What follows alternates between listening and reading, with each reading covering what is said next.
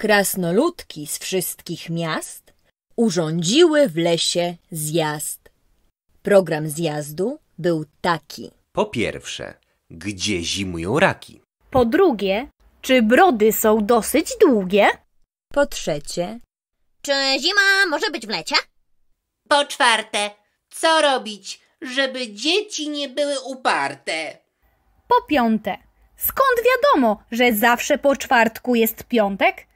Po szóste, dlaczego niektóre orzechy są puste? Pierwszy mówić miał najstarszy. Ale tylko czoło zmarszczył. Drugi mówić miał najmłodszy, więc powiedział coś trzy po trzy.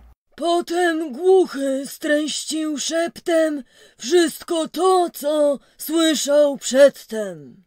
Ślepy mówił o kolorach. Lecz przeoczył coś. Nieborak. Zaś niemowa opowiedział o tym, czego sam nie wiedział. Mańkut milcząc spojrzał wokół i napisał tak protokół. Krasnoludki z wszystkich miast urządziły w lesie zjazd. O czym tam się mówiło przez dwanaście godzin, to pana, proszę pana, zupełnie, ale to zupełnie nie obchodzi.